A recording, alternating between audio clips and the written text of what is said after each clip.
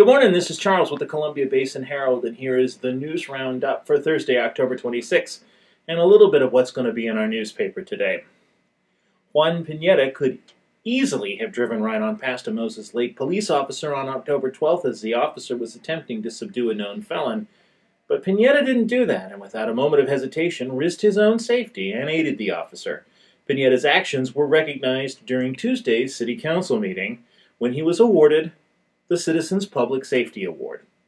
About 12:45 p.m. on October 12th, the Moses Lake police officer was on patrol and spotted a man, Jeremiah Hamilton, 34 of Moses Lake, who the officer knew had several felony warrants for his arrest, walking on Central Drive. The officer attempted to contact Hamilton and he bolted from the area on foot. Hamilton made his way across a field and ran across Highway 17.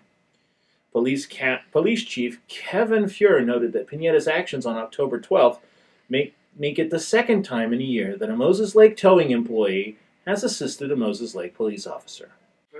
Despite opposition from several local homeless advocates, the Moses Lake City Council passed an ordinance on Thursday that gives the city the ability to ban people from city parks for up to a year. At a previous meeting, council members considered changing the hours of operation at city parks 6 a.m. to 10 p.m., but decided against the change on the recommendation of city staff. Included in the ordinance are several special use areas in city parks, such as trails used for running and athletic courts that are excluded from the normal hours of operation for set use only. The purpose of the ordinance is to limit vandalism and crime at city parks. Parks and Recreation Director Spencer Griggs said damage to bathrooms at parks alone costs the city several thousand dollars a year, not to mention the use of certain bathrooms as a location for drug use and for homeless people to sleep. A blizzard of inquiries about electrical service has Grant County Public Utility District officials rethinking how the utility responds to new customers and starting a year long project to revamp the process. The Public Utility District received 20 inquiries about electrical service in, in, the first three weeks of October alone, said Dave Churchman of the Public Utility District Accounting Department. In the last three or four months, the district has experienced very, very unprecedented requests for service, said General Manager Kevin Nordt. Most of the custom- requests have been from customers that would fit in the light industrial category. The upfront cost is much less, said Jer- Jeremy Nolan of the Utility District's accounting department. Some have come from customers in the heavy industrial class.